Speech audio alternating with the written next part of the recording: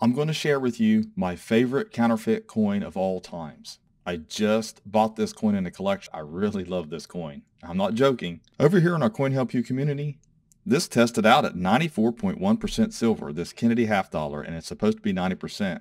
Come over here to uh, CoinHelpu community and see if you can help out with this one. See what's going on. We have world coins on our website. Also check out our auctions and our 5% off all silver dollars, including the silver eagles. So here it is. This is my favorite counterfeit coin. This is a 1756 Zurich City View. And you can see the pimples and the repair up here. And we'll get a little bit closer. I love City View coins. I never bought them. I didn't have them come in the shop.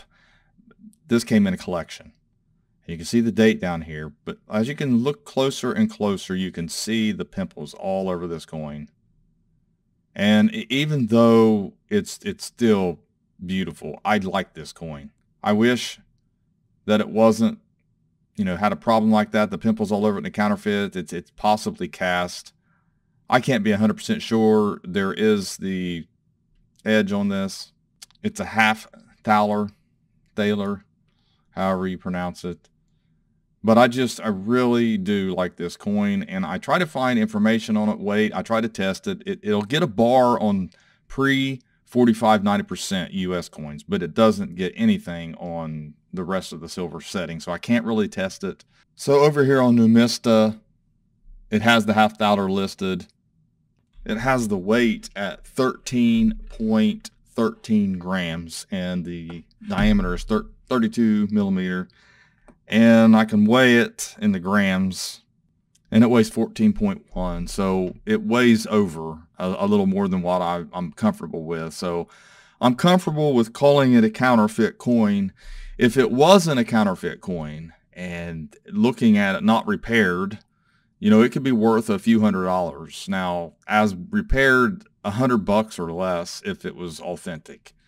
Um, you know I really hate that. I, I do like this coin and it's made me want to buy one, honestly. It's just so unfortunate that this coin is not authentic. I mean, it was in a holder. You know, you're buying a bunch of coins. We bought the, we bought this huge world coin collection. As I said, we've been putting world coins up on the site. I mean, it ran the gamut of everything. It had hundreds of coins in it. But boy, I'll tell you what, for a counterfeit, it's a nice coin. And if you got a counterfeit one, I guess this, this is the one you counterfeit, right? I, I don't know. But anyway, some other things that's interesting about this, I've always been interested in old architecture and old sites in the old world and, and visiting places like this. I would love to go to Zurich myself. You know, this view, this city view still exists. It's a little different uh, than on the, it, it, was back then, but here is uh, one of the pictures. I was trying to find one that might be close to the actual angle as the coin but I didn't see one, but you can see it here. It's, it's just beautiful. It would be just walk along through here, eat at a, a, one of the cafes or something like that would be really cool. Here's the, it shows the churches here. I can actually click on that clear. This is from the other angle, whereas the coin view is coming towards us. But yet you can still see the churches are still there, the steeples, you know, some of the bridges and things like that. Not everything's there. It's not all exactly the same because this was back in 1756 or 1700s. But here's another image of it. I tried to find an image with pimples on it just to, I wanted to hope that it's not, you know, fake, but here's another larger view of it that's over here on PCGS's website. They've got silver. They don't have weights or anything on it either. They're just older coins and there wasn't mint specifications that were so exact back then. But anyways, I wanted to share that with everyone. We take one last look at my favorite counterfeit coin. and you know, I like I said, I would uh, like to visit Zurich or any of these uh, towns. But yeah, this is um, a really nice coin. Maybe I'll just look for one and, and buy one. Or Christmas, guys, coming up here. Of course, it won't get here before Christmas. Anybody got one out there they want to send me?